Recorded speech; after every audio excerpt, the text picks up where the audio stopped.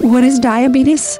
Diabetes describes a group of metabolic diseases in which the person has blood sugar, either because insulin production is inadequate or because the body cells do not respond properly to insulin. Patients with diabetes will typically experience frequent urination, increasingly thirsty, and hungry. There are three types of diabetes. In the type 1, the body doesn't produce insulin. In the type 2, the body doesn't produce enough insulin for proper function. And finally the gestational diabetes. This type affects females during pregnancy. Both type 1 and type 2 diabetes last a lifetime. Fortunately, they are all treatable.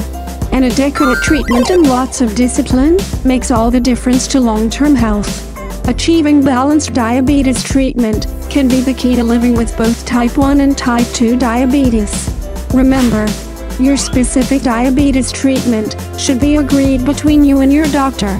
If you want to learn more, just click the link below. See you later.